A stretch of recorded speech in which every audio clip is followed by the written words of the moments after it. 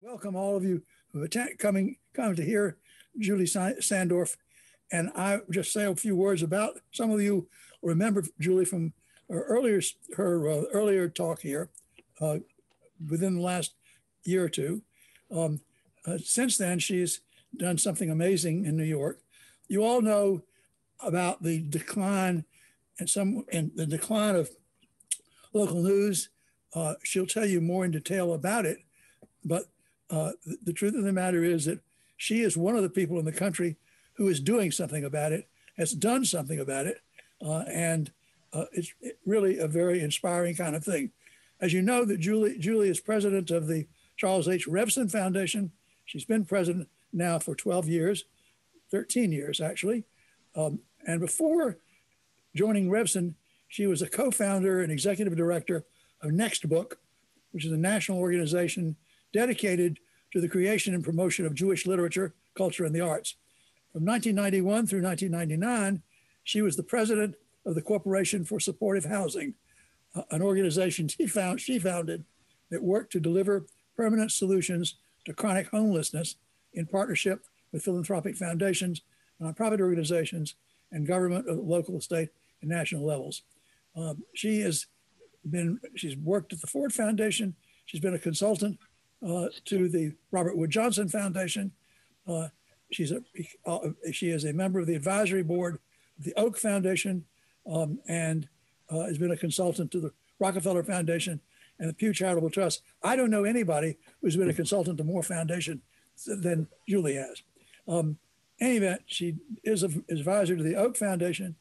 Um, she's vice vice chair of the board of directors of the Center for Urban Community Services. Um, She's a member of the West Side Federation for Senior and Supportive Housing. She's also a, a director of the A.M. and Ruth C. Fleischman Foundation, um, uh, and many other many other efforts.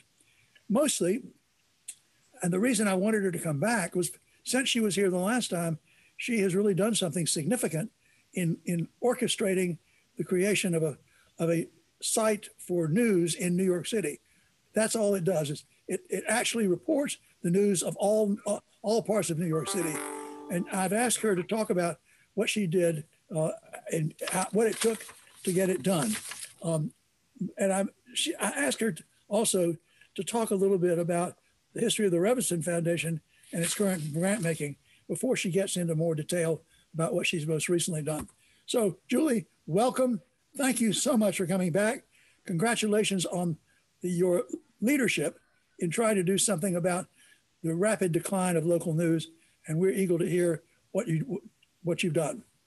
Joel, thank you so much for the incredibly generous and gracious introduction. Um, I am really honored to be able to talk to this wonderful group. I also just want to thank Imani Walker, who has been so generous and kind and patient in um, basically making this afternoon work. So here's to you, Imani.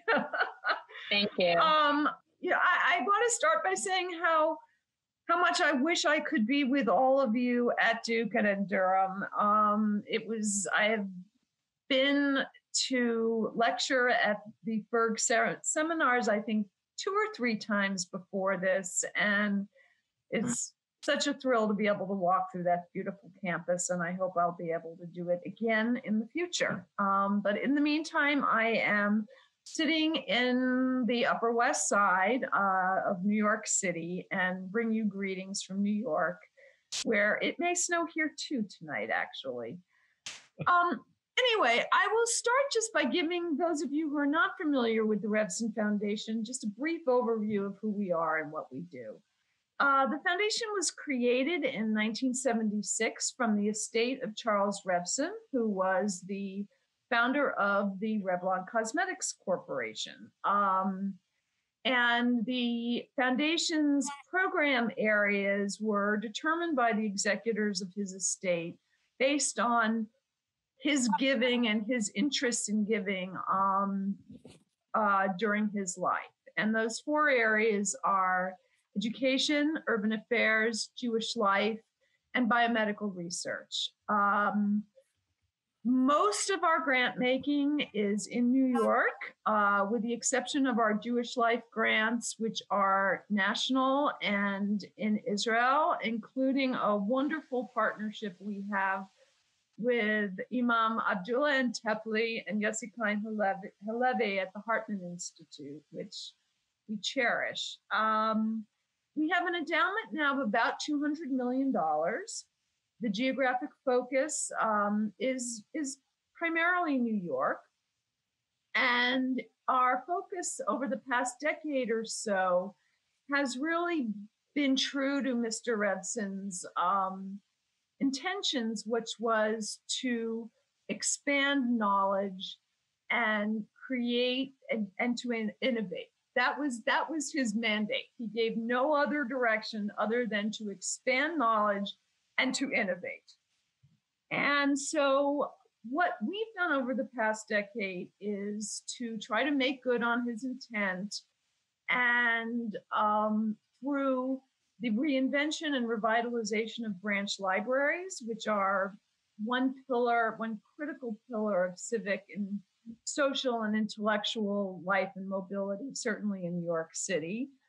Um, and through long term investment in reinventing local journalism, and actually more recently, over the past year and a half, uh, more active engagement in um, election reform and voter participation, as that really, as we see, is the third pillar of civic life and is woefully inadequate in New York. In fact, much to many people's surprise, the Brennan Center ranks New York as 45th out of 50 states in access to voting in this country. Um, so those are sort of our three pillars. Um, the foundation has had a long-standing interest in media, and I would be remiss if I did not note that the founding president is a son of of the Revson Foundation is a is a dear son of Durham, Eli Evans, uh, who was born and raised in Durham and was a friend and colleague of Joel's in college and beyond. And Eli had a very intense interest in how a media can play a role in civic life. In our first three decades, uh, was the driving force in the creation of Abba Eban's History, Civilization, and the Jews, uh, bringing Sesame Street to Israel, um, innovating in public television with Bill Moyers' Genesis, and more recently in documentary films such as Makers, Make Women Making the, the World, again with PBS. Um, so it was basically a natural continuation of this work, um, our involvement in journalism. Um, and I guess, you know, the first thing I want to talk about is why why is journalism important? Why does local journalism matter? Um, it had been historically a commercial enterprise financed by profit-making institutions. Why should why should any of us actually care if local journalism thrives in our communities? Um, and I'd argue a few things. One is that it is the connective tissue and without that, we really do lose the common knowledge of what's going on across the street, across our city, across our state, and across our country. Um, it supplies honest information for the most part, or has been, um, both monumental and routine.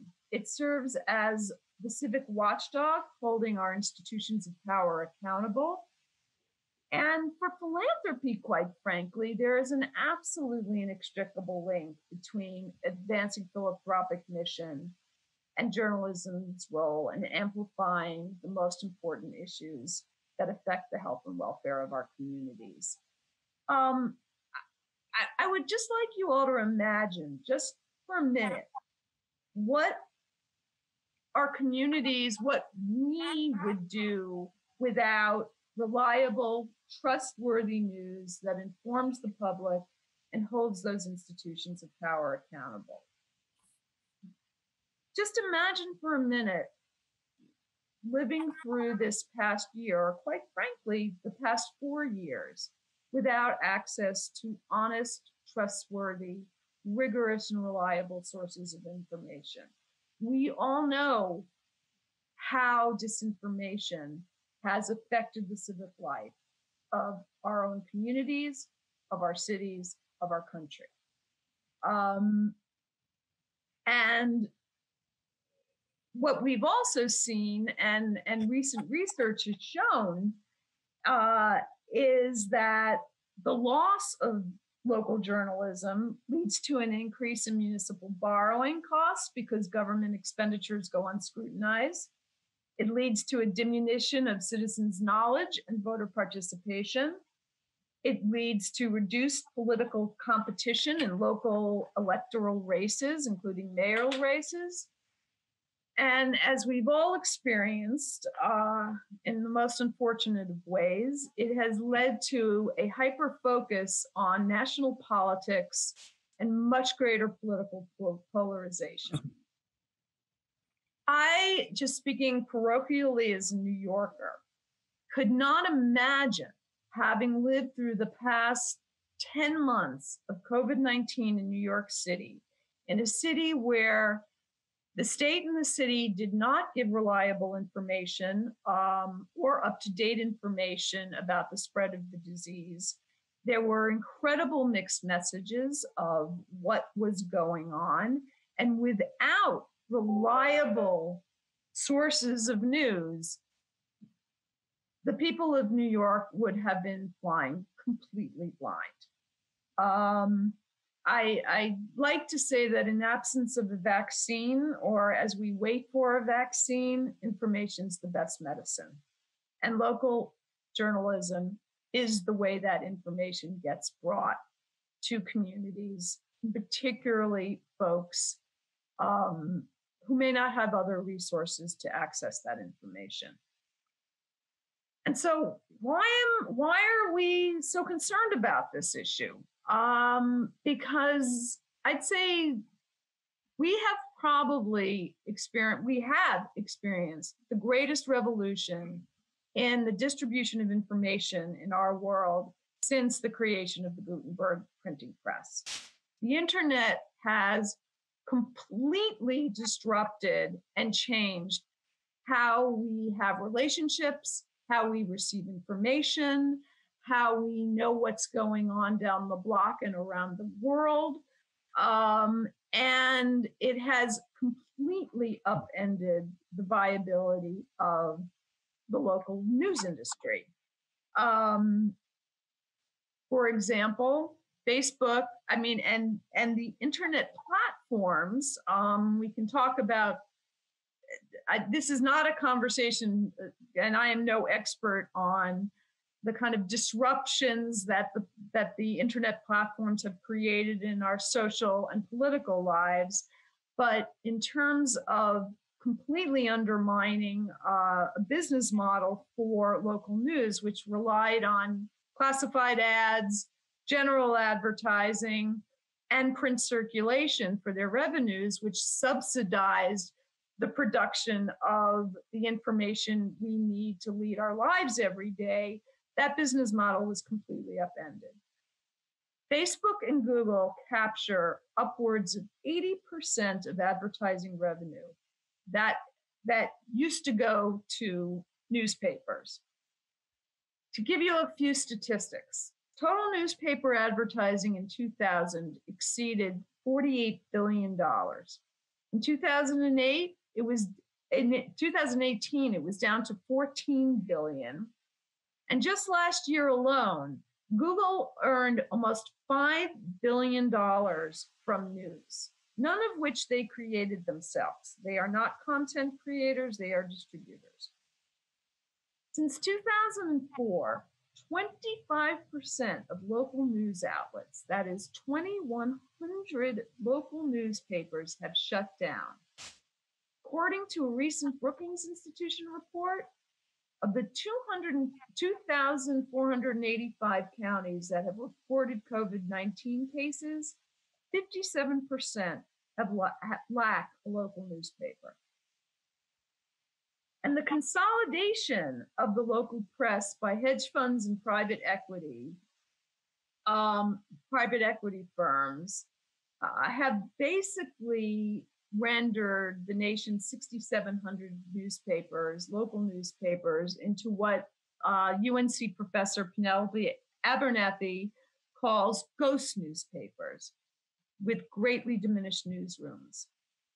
Um, to give you a sense of what this financial consolidation has done, three investment companies now own or control 45% of our country's daily news outlets, including Gannett, McClatchy, Tribune Company, and Lee Enterprises, with no clear path to profitability, and the only clear path to making money is cost cutting. Uh, to give you one example, in August 2019, the Gannett Gatehouse merger took on $1.8 billion in debt and had a market value of 1.4 billion. In April 2020, the business was valued at $88 million, from $12 a share to 65 cents a share. And Gatehouse Gannett represents 30% of local news coverage and is now facing cuts of between 400 and 500 million dollars a year. Just last February, uh, McClatchy declared bankruptcy because of an 80% drop in ad revenue over the past 10 years and $535 million in unfunded pension liabilities. And that hits home in North Carolina. The Charlotte Observer and the Raleigh News and Observer are two of 30 McClatchy newspapers now under the ownership of an investment fund. And COVID 19, very, very sadly, is putting the last nail in the coffin of local news, local commercial news. To give you a few examples, um, overall, advertising revenue uh, for commercial new, daily local newspapers have dropped a further 30 to 50 percent. In May, the LA Times reported to have lost an additional 30 percent of ad revenue with furloughs and layoffs. The Tribune Company, uh, of which our own dear New York Daily News is part of, has issued 10% permanent pay cuts. New York Post, over a dozen reporters were laid off in May. Daily News has also announced a new round of cuts. And since the advent of COVID, 36,000 journalists have been laid off or have had their pay reduced um, with devastating effects. So, what do we do about this? Um, and how do we dig ourselves out of this very kind of frightening um, civic civic hole? Uh, I'd like to talk a little bit about what the Revson Foundation is doing and how we came to this. Um,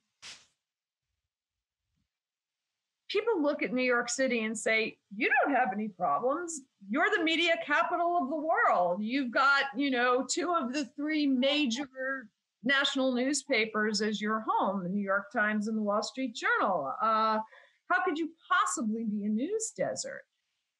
Well, when I got to the foundation in 2008, I noticed something very strange. I noticed that the New York Times standalone, robust metro section had been folded into their national paper.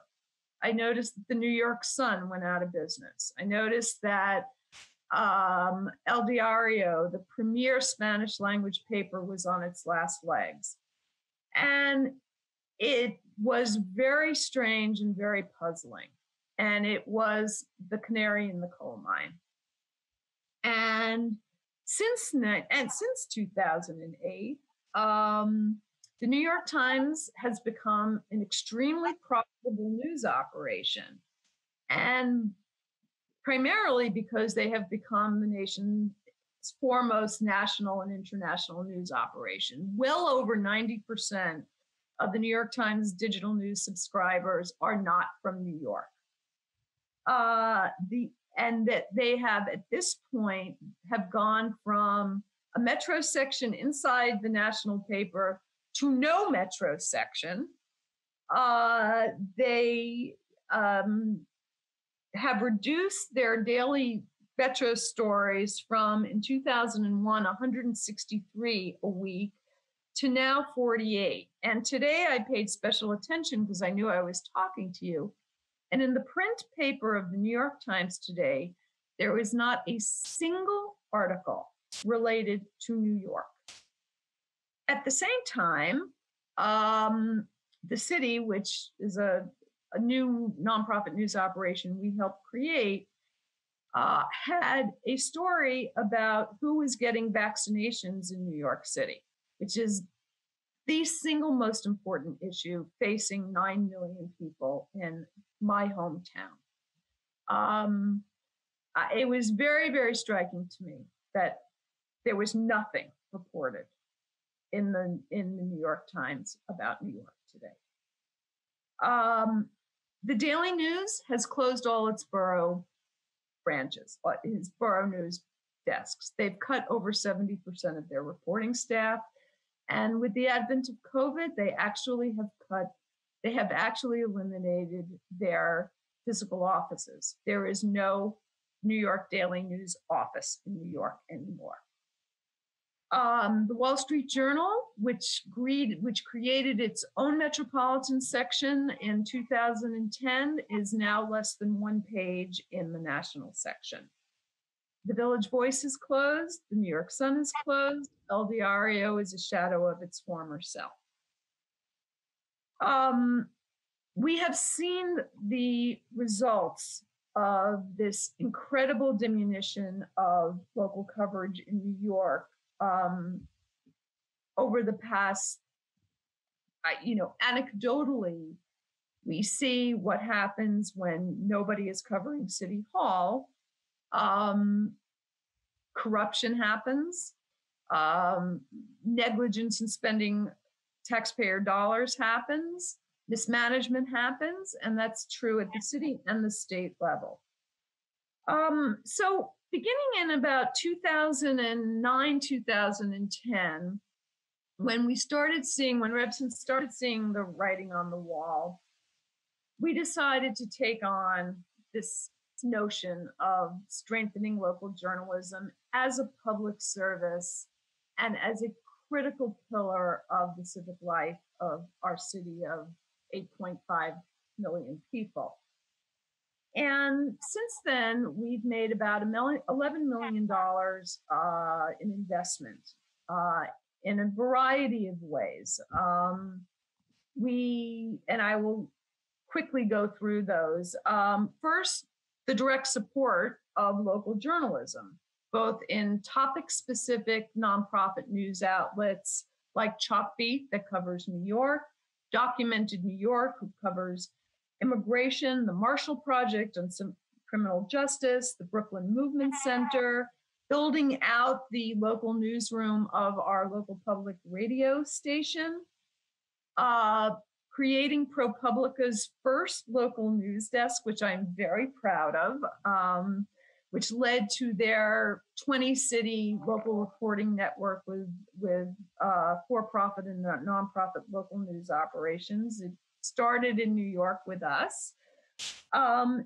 and supporting the commercial and, and, and editorial viability of the 250 plus network of community and ethnic media. Um, New York ha- is a city which whose population probably speaks to close to 200 different languages. And we have a very community based local press that serves them first and foremost. Uh, secondly, nurturing a talent pipeline. And we have we support the Newmark School of Journalism at CUNY, providing scholarships to uh, students of color and for uh, immigrants who are undocumented um, to enable them to go to be journalists uh, and graduate from journalism school debt free. Uh, journalism is not a, a, a occupation where you've got big salaries coming out at the end. So our, our deep desire is to see newsrooms reflective of the city we live in. And this is our, our way of supporting, creating and nurturing that, that pipeline. Um, and the, the third piece of our work is to help create an infrastructure to support um, the flourishing of a local news ecosystem. And there, and I will talk about the, the two ways we, we're doing that. Um, one is through an investment in the Cornell University First Amendment Legal Clinic, where um, we are funding a clinic and a practicing lawyer to provide pro bono services to nonprofit uh, journalism in the New York metro area um, for Freedom of Information Request Acts, for defending journalists in libels, you know, in different kinds of defamation and other suits to help nonprofits incorporate and so on. Um, and that's been very successful. And and the last is a, a effort that we that I'll talk about um, about creating a very strong source of revenues for community media in New York. But the first case I would like to talk about is um, our single largest investment to date, um, and that is the creation uh, and startup of a brand new news operation in New York, very much based on um, what had come before us in the Texas Tribune and Min Post and Vermont Digger. We really look far and wide for great models for New York to fill what was gaping holes in in coverage of the civic life of our city. Um, we spent 18 months, and basically, I spent 18 months um, putting this effort together. And I will start by saying startups are not for the faint of heart. Um, we are reinventing new models of journalism um, from the ashes of a market failure. And there are no silver bullets, and it is very hard to do. Um, we first by, started by researching the local news landscape and, and looked at what the biggest gaps were. And not surprisingly, it was deep reporting. Um, there were no reporters covering boroughs anymore. And to give you a sense of this, the borough of Brooklyn has the same population as the city of Chicago. And there was not a single reporter focused on the borough of Brooklyn from any of the citywide commercial newspapers in, in 2017 and 2018. Nobody was covering the courthouses, and the City Hall press corps had gone from 24 reporters to four reporters. So there was clearly a necessity to, to cover the boroughs and cover very specific beats.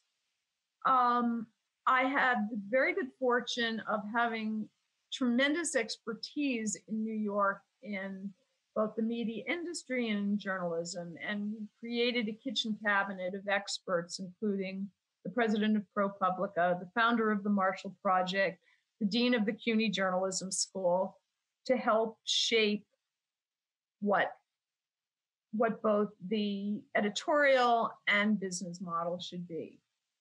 We learned from other nonprofit startups. And we launched in April 2019 with about $9 million in hand, um, knowing that we needed a runway of at least two years to get going. Um, it was very, very important. First of all, Revson is a very small foundation that we had a group of funders who were deeply invested in growing a serious and sustainable nonprofit news operation. Um, so we launched with two partners, the Leon Levy Foundation and Craig Newmark Philanthropies, and also with about four or five other individual donors uh, who are willing to take this leap of faith with us. Um, we hired both an editor in chief and a publisher um, so that we had strength on both the editorial and business side. And we created a board of directors that represented both business, journalism, and civic life in New York. Um, and we knew that with a three million, three and a half million dollar uh, annual operating budget, we were not going to be able to cover everything.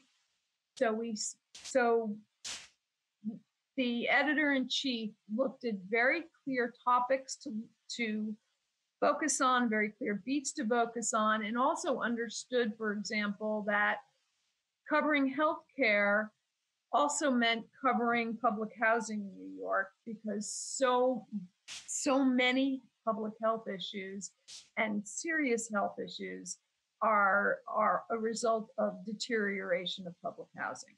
So there was also a blending of different topics and different beats. Um, the the city launched in 2019 with special topic beats in housing, criminal justice, health and healthcare, fiscal responsibility, and campaign finance. There was a very strong emphasis on accountability and watchdog journalism that drove action for public benefit and that ranged from everything from getting a streetlight fixed to revealing the corruption at City Hall and the corruption of the mayor's campaign finances, um, which some say led to him not being able to get any traction in running for president. Um, we also, the, the city also decided that they needed to be an explanatory, they needed to provide explanatory information and information that would be useful to the daily lives of New Yorkers. So, for example, when the pandemic struck, there was no information available from city or state sources on uh, on a neighborhood level and at a hospital level of where the pandemic was striking and how many people were being affected. And the city put together a COVID tracker that every day tracked everything from, you know, number of cases, number of positives, how many people were in the hospital, deaths, etc., um, and are now doing that for vaccinations. They were the only source that one could go to um, until the city actually got its act together to provide good information. Um, they are also doing explanatory newsletters uh, for to inform people about unemployment insurance, about what they should do about evictions, um, the day to day information that's not easily accessible at this point through government sources and is certainly not being given by traditional news sources. Um, and they also put an engage- a huge emphasis on engagement. Um, they immediately created a partnership with the Brooklyn Public Library uh, to hold open sessions in branch libraries all over Brooklyn, asking community residents to talk about what they wanted to know and what information was most important to them. And through that, they created incredible sources and we're able to crowdsource amazing stories. Um, and they and through that engagement they've created something called missing them and i strongly urge any anyone who's interested to take a look at this they are working with uh, the cuny journalism school and the columbia journalism school students and creating memorials for every single person who has died due to covid in new york city and it is the living compendium of loss in our city. Um, no one else is doing that. Um, and another example of engagement is their partnership with Chalkbeat, where they are covering special education in New York and which has not been covered by mainstream press. And 2,000 parents are crowdsourcing uh, with them information and issues related to the challenges of public of special education in the public schools in New York. Um, they put out a daily newsletter uh, that has 35,000 subscribers at this point with a 45% open rate, which is kind of amazing. Um, and they're also putting out special newsletters on eviction, unemployment, and the 2021 elections in, in New York. Um, their reach. Their average monthly unique visitors in 2020 ranged from in January 2020, 200,000 to in May, 1.2 million. Uh, right now, the average reach of unique visitors are between 500 and 600,000 um, and are growing. Um, they began when they launched with 370,000 page views, and that went to over 2.2 million in May and April of um, right at the height of, of COVID in New York. Um, part of the importance of engagement and, and revenue development is creating a membership base. Also uh, is an indication of whether this news, because it is free, is of value. Um, and since their launch, they have 4,300 members and have raised over $600,000 in individual memberships, which are, you know, between 60 and $120 a person.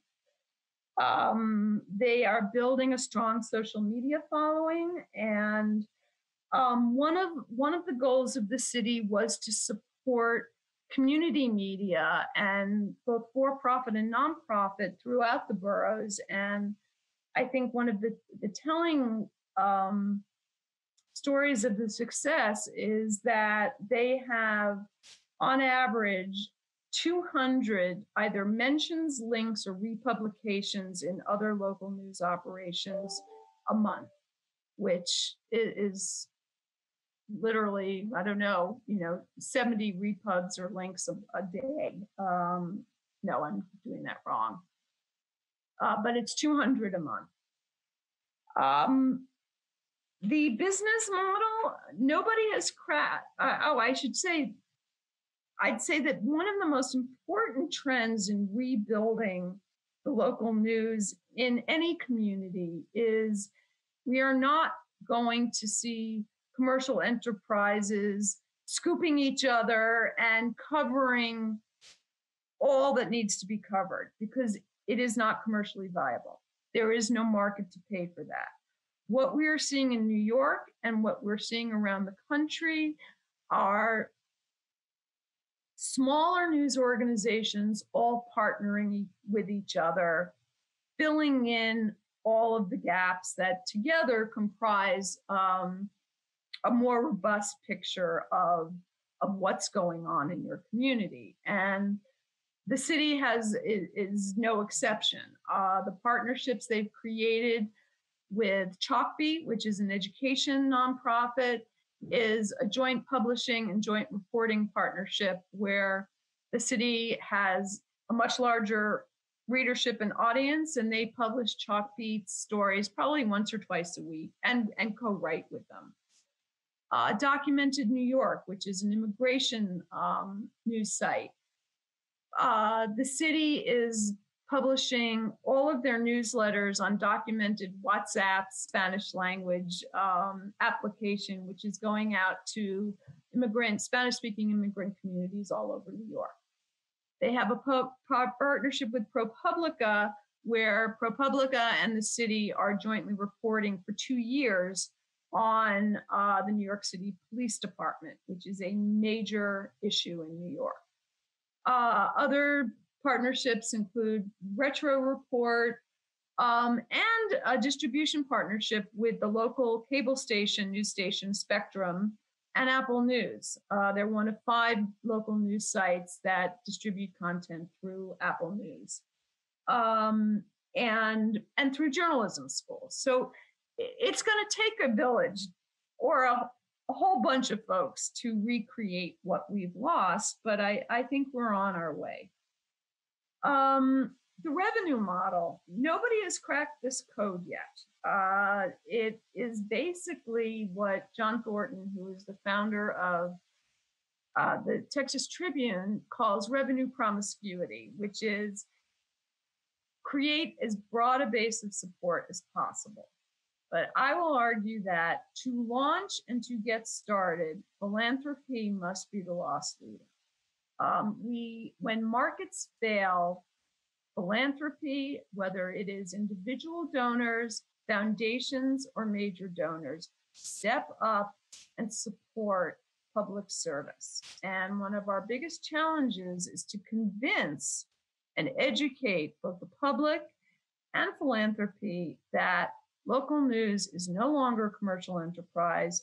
It is a public service. It was always a public service. It was just commercially subsidized. It is no longer commercially subsidized. And for the time being, it will have to be in part supported by civic and philanthropic sources. Um, the revenue mix is a combination of corporate sponsorship, um, foundations, individual donors, uh, in some cases, events. Um, but we have a long way to go before we see a robust, sustaining um, picture of um, of revenue sources in this, you know, inc- a field that's in its infancy. And I feel very strongly that um, philanthropy has to be patient. We are reinventing a new field uh, and one that is absolutely critical to everything else that happens in our communities. Um, if you're a foundation that cares about health and healthcare, or cares about public policy, or cares about housing, it cares about you know fiscal responsibility. Uh, without being able to amplify these issues and bring them to light um, to the public, the philanthropic mission will be diminished. And their philanthropy and an ability to inform citizens go hand in hand. Um, and we've got a bit of work to do in having that be the rule and not the exception. Uh, I am trying to think of. I guess I'd like to end on a on a positive, on a very happy positive note. When I think when I when I look forward in, in this field, um, over the past decade, 300 nonprofit news outlets have been established. $500 million in philanthropic revenue has been dedicated to these outlets.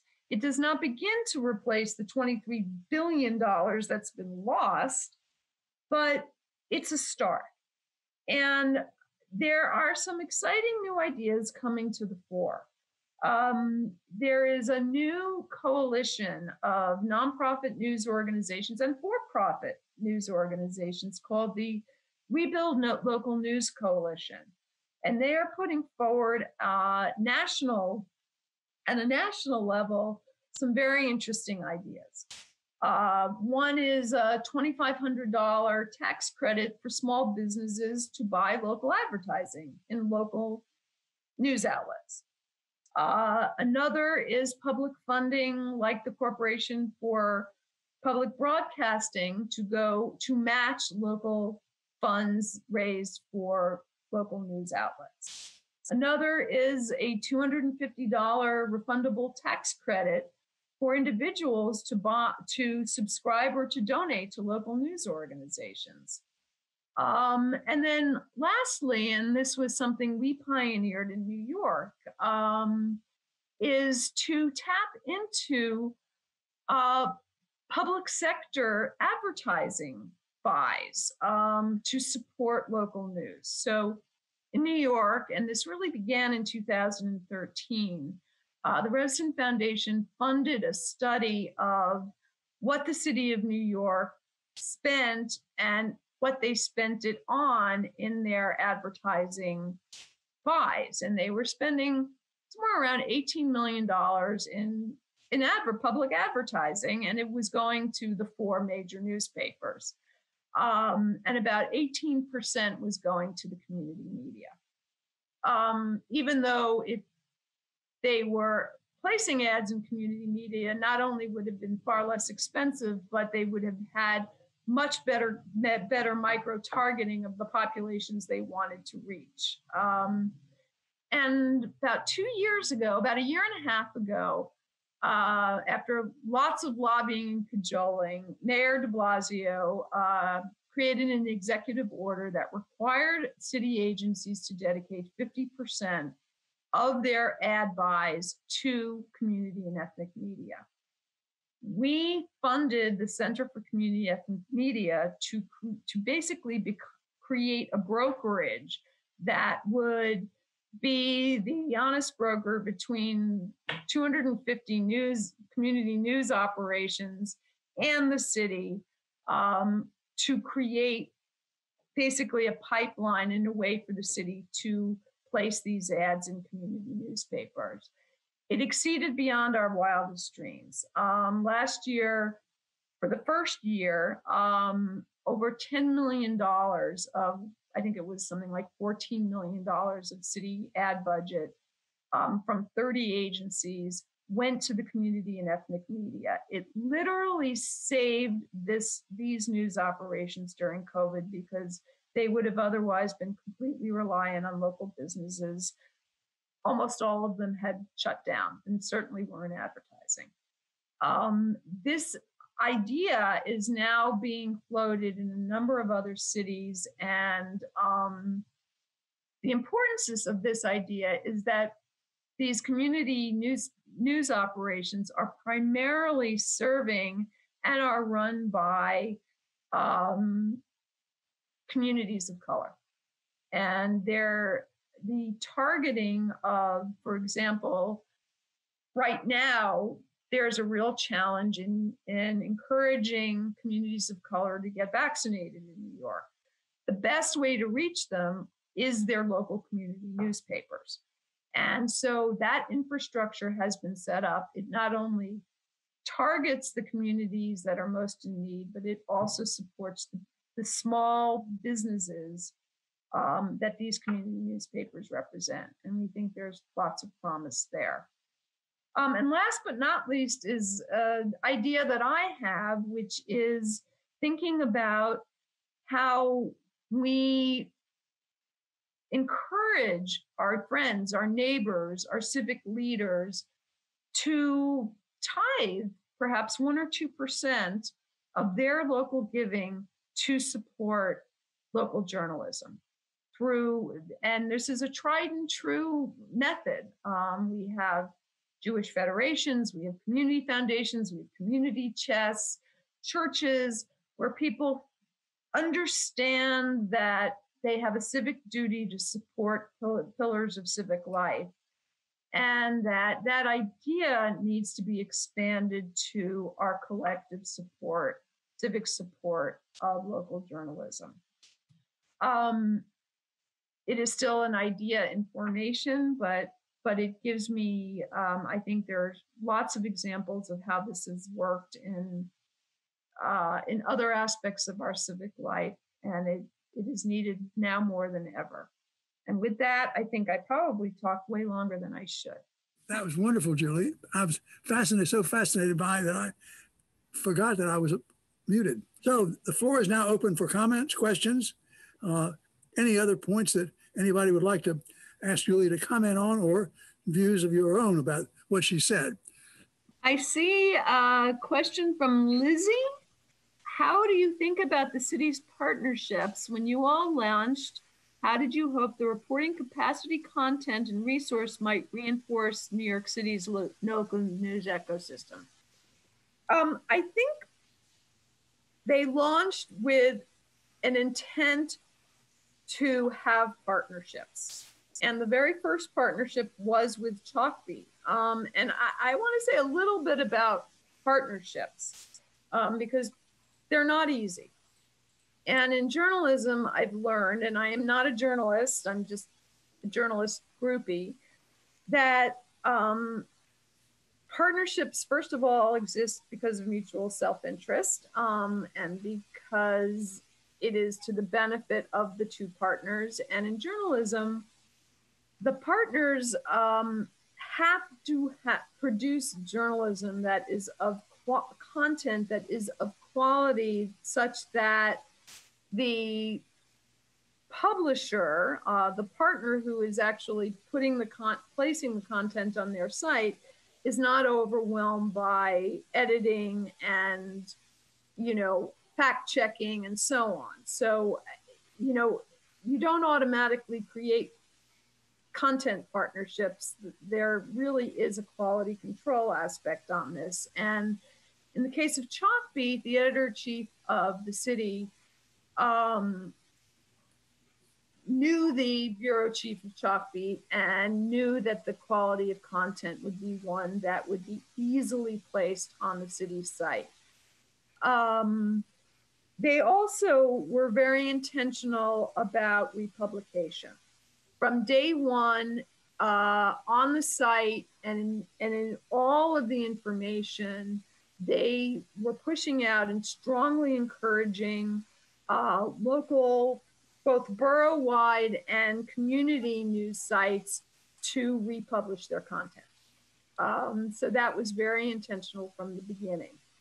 And then over time, um, these other partnerships were created. But I, I really do think that these partnerships work best when the quality of the journalism is such that everybody is comfortable that they are not going to be because nobody's working with a rich newsroom and nobody's working with extra editors and the, the quality of the content has to be high enough so that it requires minimal work by the host.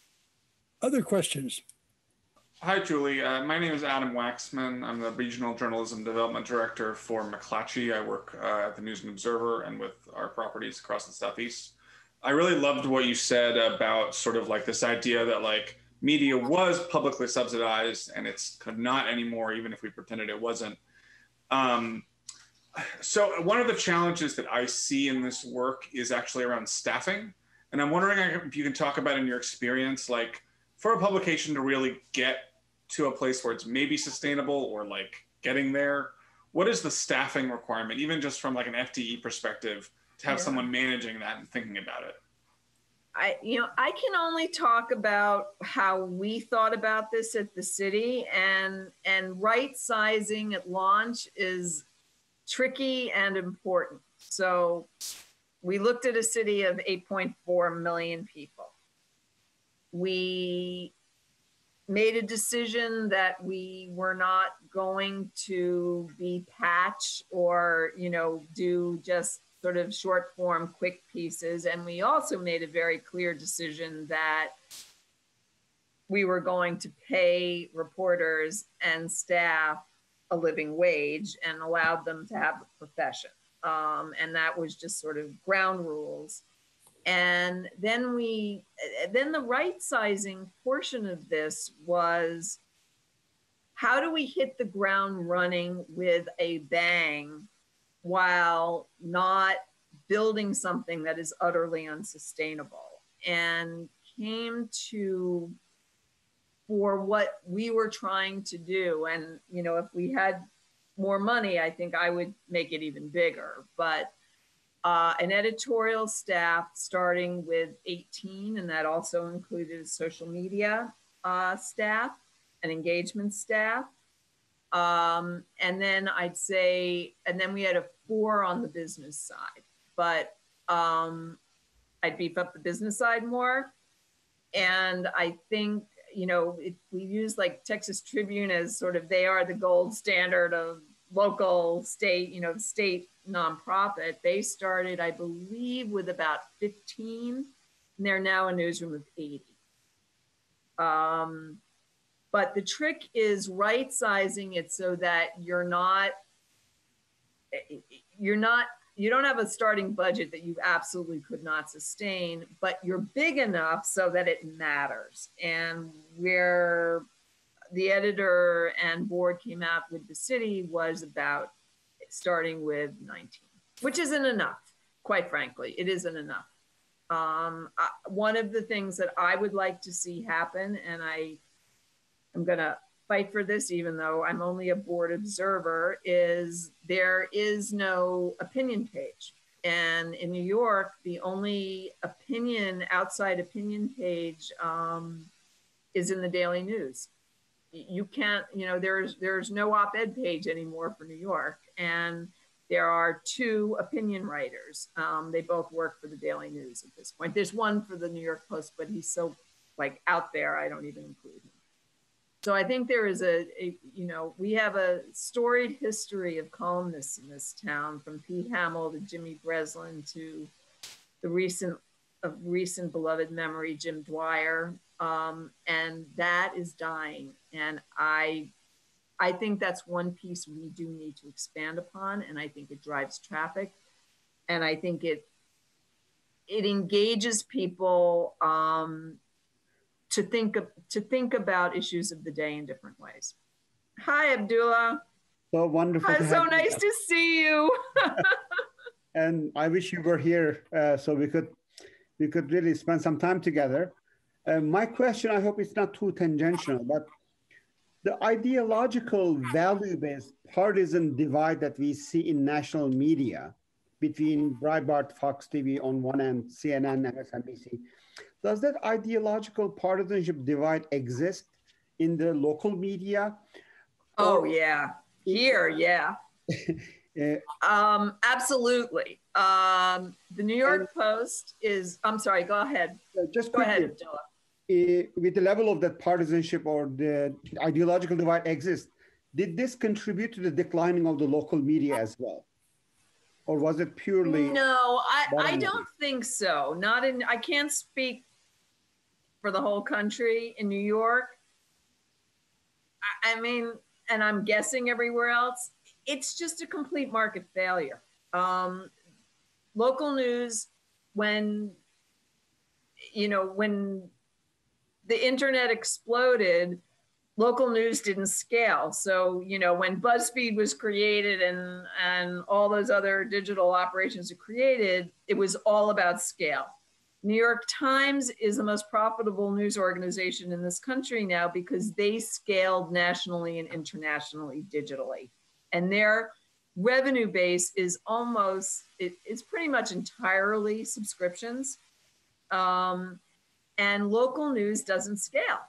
You've got a defined geography and Facebook and Google are much better at micro targeting advertising to a local audience than a local newspaper will ever be. So I, I, I really do believe that this was far more a market failure than anything else. Certainly, in large part because the source of revenues from these papers were just sucked up by the platforms and and Craigslist. I, I will admit, although Craig has been hugely uh, generous in helping to rebuild local news. Um, in New York, yes, I mean, we're a democratic city, but we are also a news city that two major news operations are owned by um, Rupert Murdoch, the Wall Street Journal, which their New York reporting is straight up reporting. It's not ideological uh, and the news New York Post, which is extremely ideological and particularly in New York, um, bordering on non-credible. Um, I would say, you know, for the city, in part because it's nonprofit, so it can't do endorsements. It is rigorously nonpartisan um, and will go after institutions of power no matter who they are. Um, and I think the resistance to having an opinion page and columnists and op ed contributors is the editor in chief's um, strong resistance to partisanship. Um, but I, you know, I, we could argue whether the Times, I mean, you know, I think the Times has become partisan, but they they're not focusing on local news, so it's not a big issue. And the Daily News, Okay. unfortunately, is on its last legs. We can ask Bari Weiss whether uh, the Times have been partisan or not. Yeah, it's a commercial failure. Um, that's that's what we're experiencing. Um, I think that's what you're experiencing in North Carolina too. These amazing news operations that that have taken huge financial hits. Other questions? We have Kristin Goss. I put mine in the chat. Um, so what I wrote was in my undergrad class today, and I'm sorry I was a little late. We were finishing at 4:45. Uh, the question of the day was, what is one thing a philanthropist could do to enhance American democracy? And a lot of students actually focused on improving the media. They thought that shoring up local media, in particular, might have the side benefit of enhancing trust in democratic governance. But they were also really worried about media literacy and how to Mhm. make young people better media Mhm. consumers, identifying misinformation and biases. And we went through a lot of different kinds of proposals and realized how what a politically hot topic that was. And so my question was really, is there a role for philanthropy in this, you know, this side of the media landscape? Yeah. And and I, I concluded by saying this former reporter who's actually married to a former reporter. Thank you.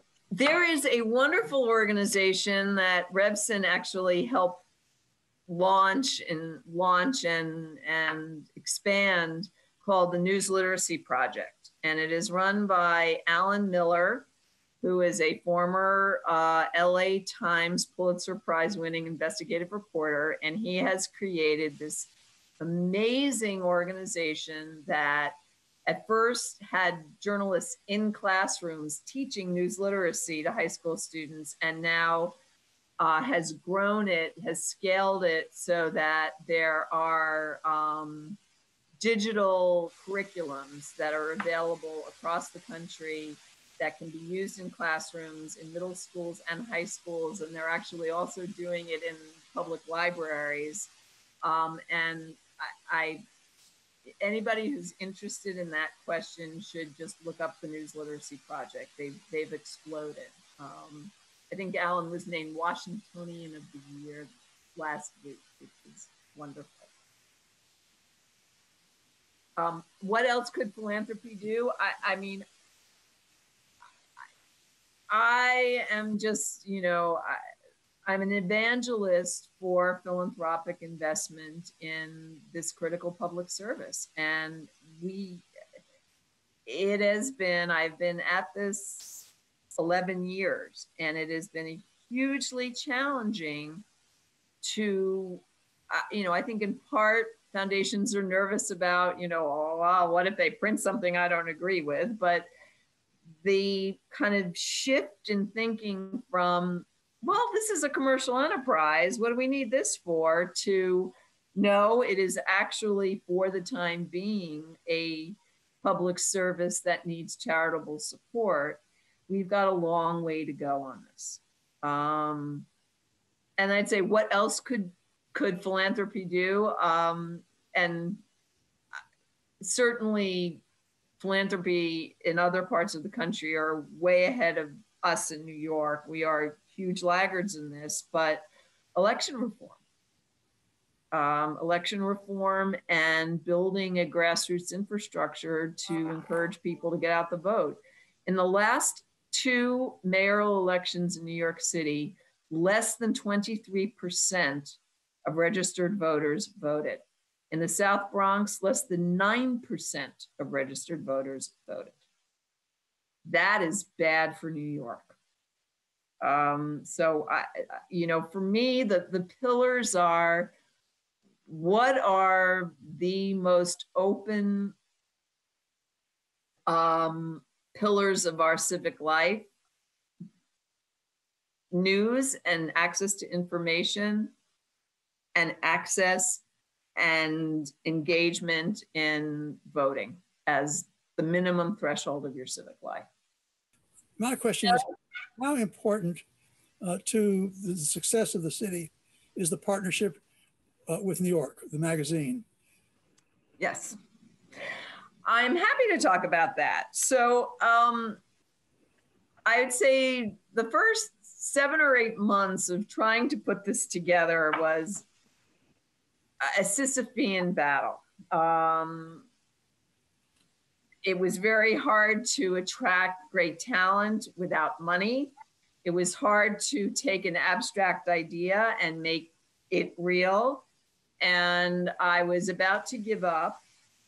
And I had an epiphany, which was um, New York Magazine, which is a storied um, weekly, well, now it's bi weekly, weekly magazine that covered New York, um, had pivoted as most news operations had to a national audience because that was the only way they could remain commercially viable. And they really were not at that point in 2018 covering New York City at all. Um, it happened to be that the uh, owner of New York Magazine was a trustee of the Revson Foundation. And I called her and said, Can I come to you with a crazy idea? And she said, Sure, come on downtown. And I pitched the idea of a partnership where the city would be the local news counterpart to New York Magazine's national uh, work. And Adam Moss, at that point, was the editor of New York Magazine, and David Haskell, who was deputy and is now editor of New York Magazine, loved the idea.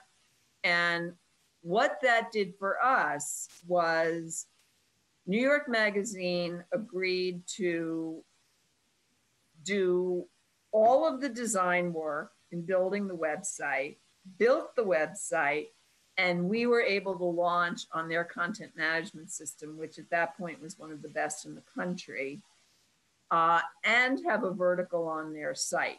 And what that gave me was an ability to say, look at the leverage we're getting. We are, we have this, you know, spectacular um, journalism enterprise backing us. Um, and at that point, New York Magazine had won more national magazine awards than I think any other magazine in the country. And it gave us the wind underneath our sails. I'd say how it's played out is um, we are still working. Well, now Vox bought New York Magazine. So we had the advantage of transitioning to an even more sophisticated content management system. We're under Vox and we now are able to do videos. We're able to do a lot more on the site because we're still there. Um, New York Magazine has republished some of the city's work. Uh, it has not been, and I think we will see it hopefully getting more more content partnership and relationships, but they basically allowed us to speed up our launch by about seven months because they did all the work and they saved us about a half a million dollars in startup costs because they saw this this support and this service to the city as their philanthropic gesture to the civic life of New York City because they were just not doing what they used to do. And so it was a very unique partnership and way to begin this work. Um, and I think in large part because the ownership of New York Magazine was a private trust. Uh, and that the leadership of New York Magazine were extremely civic minded people. I don't think it would have, it would never have happened. In fact, I, I asked somebody in this industry, had I gone to the New York Times and said, Would you like to do this with us? It would have taken six months to get an appointment. Um, and in this case, literally, it was 30 days from the first conversation to signing the agreement with New York Magazine. Um, and without them, I don't think we could have launched this, quite honestly. We couldn't get the traction are there analogies to other cities? Uh, there's no, I would, I don't know of any magazines. No. New York Magazine. Mm-mm. I mean, you know, there are, there are, I'm not sure there's an ownership that feels that this was their civic duty. Um, you know, there is Boston Magazine. I mean, there are those, nothing as sophisticated as New York Magazine. You're absolutely right. You're right. They're in a class by themselves. um, I have a question about um, the role of universities um, in this sphere. Um, what kind of partnerships or roles do you see universities having that could best contribute to supporting local news? And I think um, Deborah has also posted a question that has like an, an intriguing aside to that. I mean, I, I can only uh, speak to the experience of the city. Um, several things. One, um, in the Missing Them project, which is an enormous project, you know, memorializing and doing events uh, around all the folks that have died of COVID in New York. The the people actually writing these memorials are all students from Columbia Journalism School and the Newmark, Newmark Journalism School. It is staffed by these students. So that's one thing. Um, journalism students have internships at the city in the summer. Um, and I'd say lastly, and in part, it's, I think the the city started with another very strong intentionality, which was uh, the editor in chief, Jere Hester, who had previously been the city editor of the Daily News, um, by design wanted to create a newsroom that looked like New York City. And he had a strong relationship with the New York Journalism School, which 80% of the students are, are people of color. And so he looks at the journalism schools as the talent pipeline. Um, and some of their star reporters are from, from the journalism school. So I, I think there's huge opportunity and potential to partner. Um, the reporter who covers fiscal affairs for the city is the Ravitch um, Fiscal reporting uh, professor at the Newmark Journalism School. So there's there's lots of back and forth, and um, I, you know, I, I, I think there are like 40 journalism students working on the Missing Them project, and it, and it couldn't have been done without them. Hi, yes, uh, thanks, thanks again, Julie. And I was just curious, um, not to bring the, um, not to stop talking about news media, but just in general um, in your work have you encountered anything else that might be um, commercially subsidized or viable for now but maybe in the near future could could also be vulnerable to you know the same things that are happening to local news oh gosh i mean you know everything i, I guess i'm sitting at the epicenter of uh, a state and a city that's looking at $15 billion in deficits and New York five and a half billion dollars in deficits. Uh, I, you know, our public transit system is in, you know, I think they're like two billion dollar deficit. So, you know, it is just a very difficult time. I, will give you actually a great example. I just was talking to the CEO of the YMCAs of New York, which are 24 YMCAs. And their revenue model was primarily member dues, and that the Ys in the more affluent neighborhoods cross subsidized the Ys in the poor neighborhoods. And because of COVID, they've had to close their doors since March, which means their budget has been reduced by 50% from 200 million to 100 million. And they were heavily reliant on what would otherwise be the ideal, the wonderful model. Look at this. You have, you know, earned revenue sources to support a nonprofit mission. And they are now facing, you know, cutting their budget by half. And how do you rethink the role of what you know of the YMCA's and of how you support those Ys that are in neighborhoods that don't have that kind of membership base um, to provide just as high quality services. And, you know, it is, nobody would have thought that this would be a, a pressing challenge in an organization like that.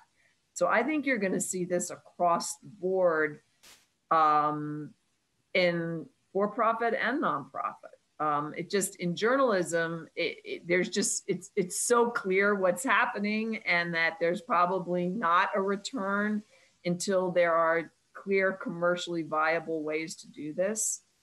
I, you know, I should also say that so much of how I look at this is informed by my own experiences um, in the community development movement. Um, a similar thing happened in urban neighborhoods all over America.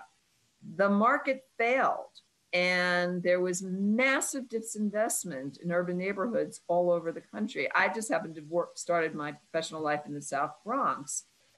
But the lost leaders of rebuilding those markets, and they were rebuilt in New York, were philanthropy, nonprofits, small very small levels of private sector financing, you know, because of government regulation and the public sector.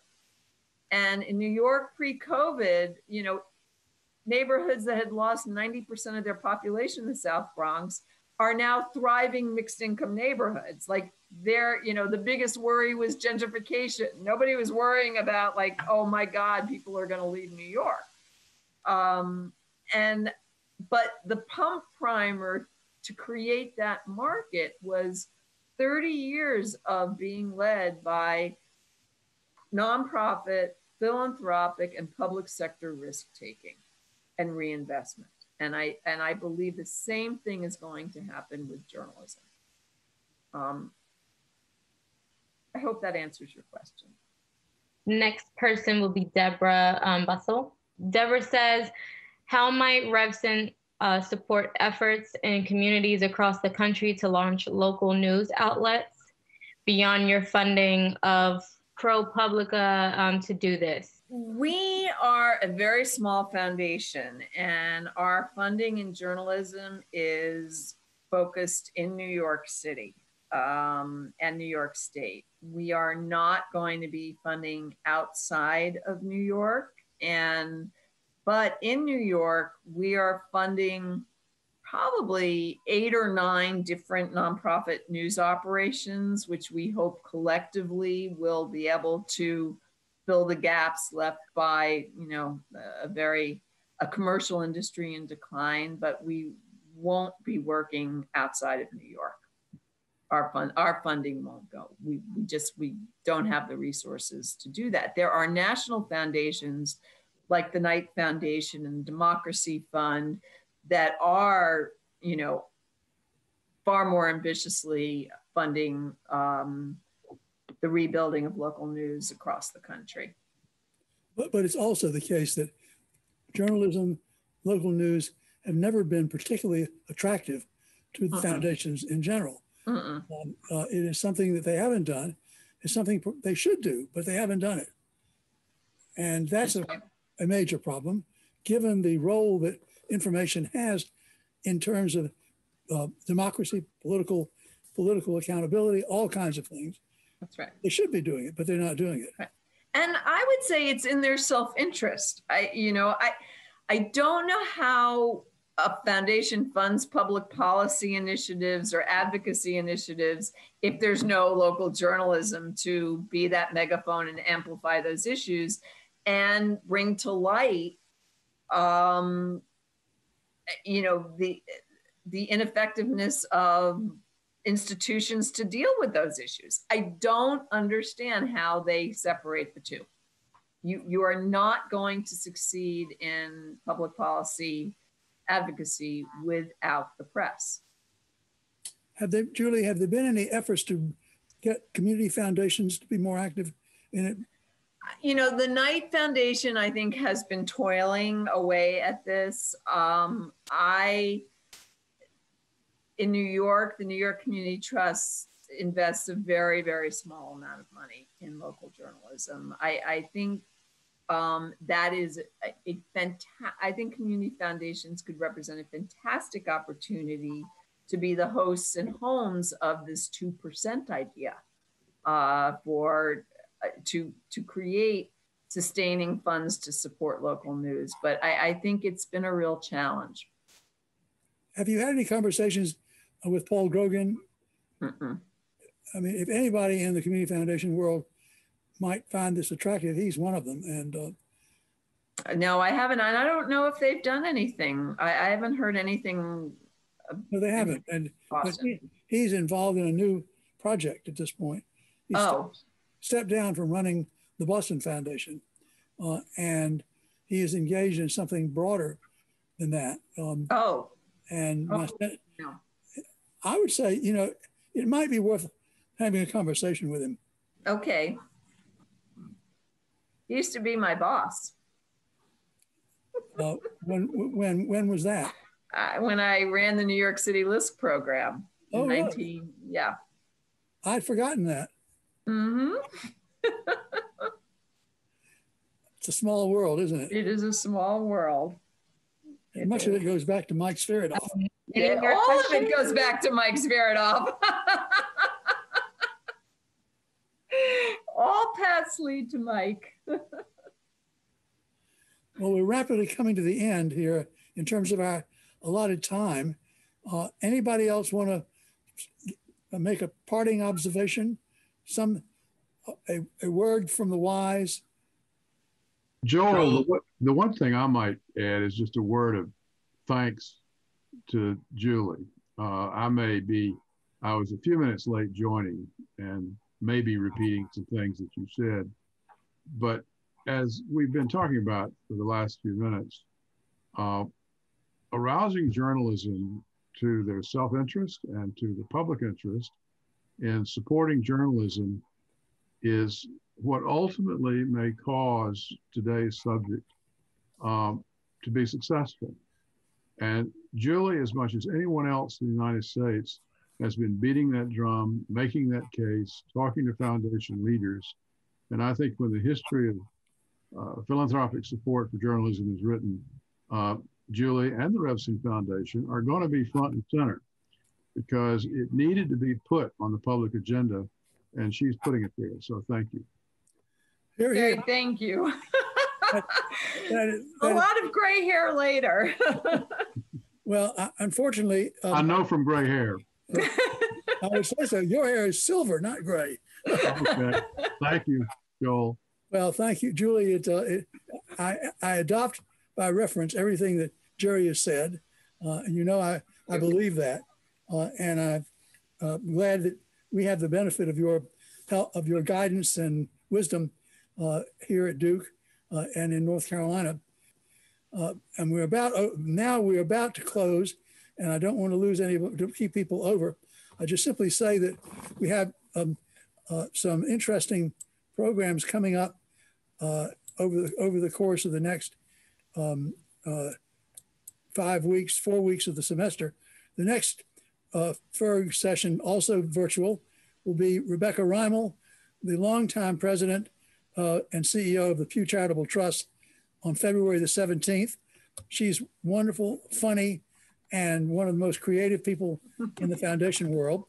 Um, on March the 3rd, Hubert Joly, longtime CEO of Best Buy uh, and now executive chairman, who's also doing a lot of work in nonprofits.